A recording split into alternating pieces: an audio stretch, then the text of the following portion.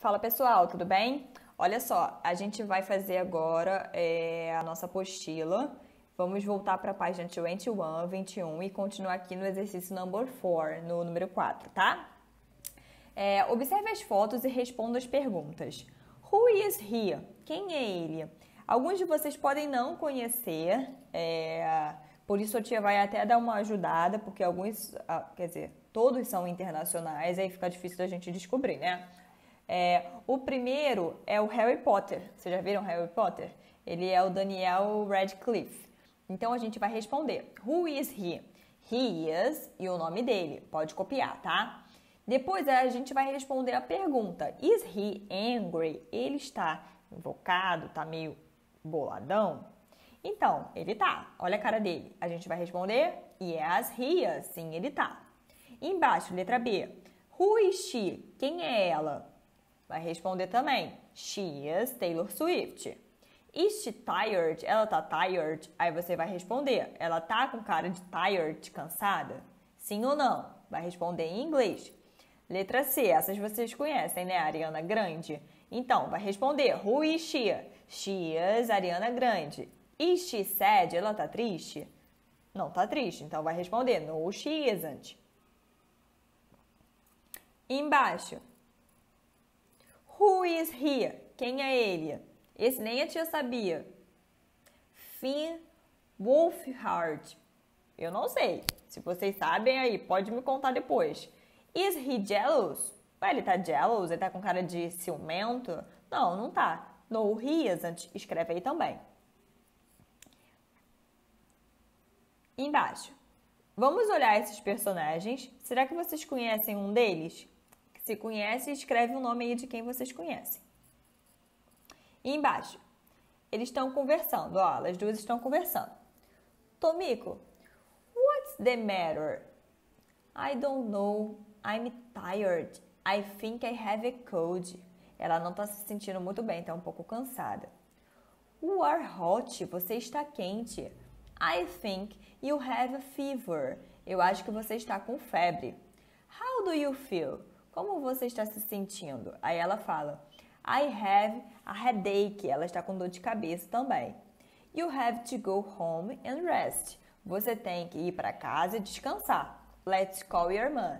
A gente vai ligar para sua mãe. Aí ela fala: Ok. Aí a teacher vai ligar para a mãe dela, para mother. Hello, Mr. Cato? Yes, this is Mr. Cato. Who is speaking? Sim, eu sou Mr. Cato. Quem está falando? Is Olivia, Tomiko's teacher. Eu sou a Olivia, a tia, eh, a tia, a, a teacher, a professora, a gente chama de tia. A teacher, a professora da Tomiko. She's not well, ela não tá bem.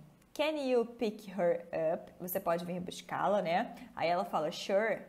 Is it a stomachache? Ela tá com dor no estômago? Será que ela comeu alguma coisa é, ruim? She isn't eating well. Será que ela comeu, alguma coisa? Aí a teacher responde: No, I think she has a cold.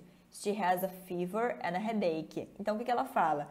Eu acho que ela tá com, né, com um pouco de frio, porque ela tá com febre e dor de cabeça. Aí a mãe responde: Yes, it's probably a cold. I will be I will, be, I will be there in 10 minutes. Então eu vou estar tá aí em 10 minutos para poder buscar. Geralmente é o que acontece quando vocês passam mal na escola, não se sentem bem, né? Rapidinho algum responsável vem buscar vocês para poder descansar um pouquinho em casa. No próximo, a gente vai ler as perguntas e responder. Então, olha só, na letra A. Who does Tomiko feel? Como a Tomiko estava se sentindo? Marca aí a opção certa. B. What's the matter with Tomiko? O que, aconteceu com a, com a Tomiko? C.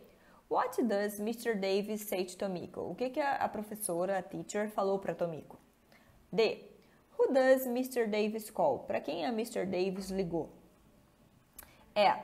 What does Tomiko's mom say? O que, que a mãe do Tomiko falou?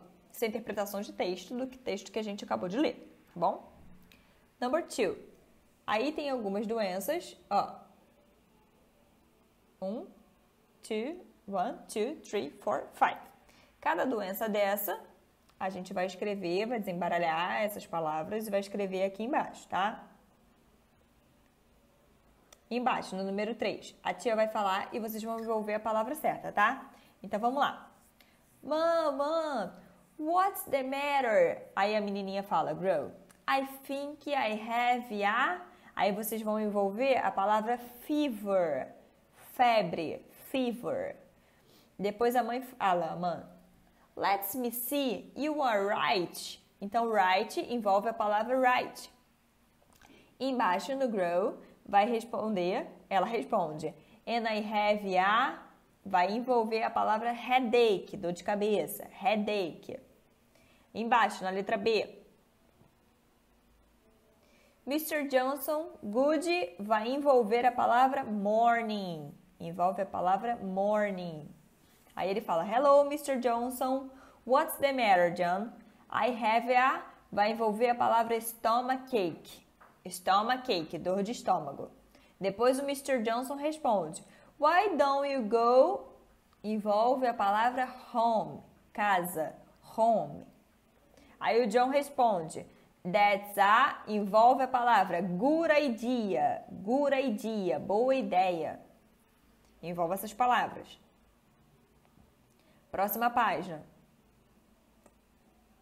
Após consultar um médico e tomar os medicamentos necessários, o que você faz? Leia e associe as recomendações. Então, por exemplo, I have a headache. Eu tenho dor de cabeça. Qual é a solução? Go to, the go to bed and rest. Ir para a cama e descansar. Take a shower and take a rest. Turn off the lights and take a rest. You can drink some yerba tea. Então, olha só. O primeiro está dizendo que ela tem dor de cabeça. Headache. Qual é a solução para dor de cabeça se você fosse um médico? Se você fosse a doctor? Desligar as luzes e descansar, porque dor de cabeça a luz piora. Letra B. I have a stomachache. Ela tem uma dor de estômago. Então, o que, que ela pode fazer? Ela pode tomar algum chazinho que melhore a dor de estômago dela, ok? Então, a gente vai marcar a letra B. You can drink some herbal tea. Letra C. Mark has a fever. Ele tem febre. O que, que a gente pode fazer com a febre? Take a shower and take a rest. Geralmente, quando a gente está com febre, a mamãe manda tomar um banho, né?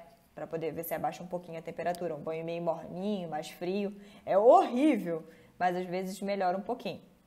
Então, essa foi a solução do médico. E por último, Susan has a cold, ela não está se sentindo bem, ela está meio com frio, gripado. Aí mandou ir para a cama, go to, the bed, go to bed and rest, descansar. Próximo, isso aí vocês podem fazer em casa, brincar com alguém que tem em casa.